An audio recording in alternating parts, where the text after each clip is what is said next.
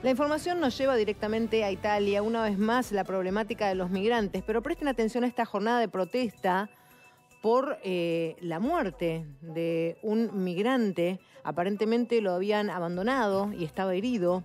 Cientos de personas se manifestaron claramente en el sur de la capital de Italia, en Roma, contra la falta de protección a los empleadores y del Estado, también a los trabajadores migrantes, después de que un trabajador agrícola indio muriera en un horrible accidente y fuera abandonado después de que la maquinaria le arrancara el brazo derecho.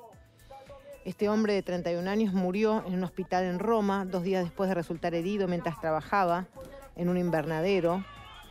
Algunos políticos y sindicatos dijeron que la tragedia puso de relieve el problema más amplio que tiene que ver con el sistema ilegal de contratación de trabajadores inmigrantes común en el agropontino y en otras partes de Italia. Hay un sistema estructural de explotación y caporalato que hay que combatir. Hay una ley, la ley 199, pero hay que asignar recursos para que se implemente y se haga cumplir plenamente. Esto lo afirmó la líder del Partido Demócrata de centroizquierda en esta protesta. La primera ministra Giorgia Meloni deploró también la tragedia.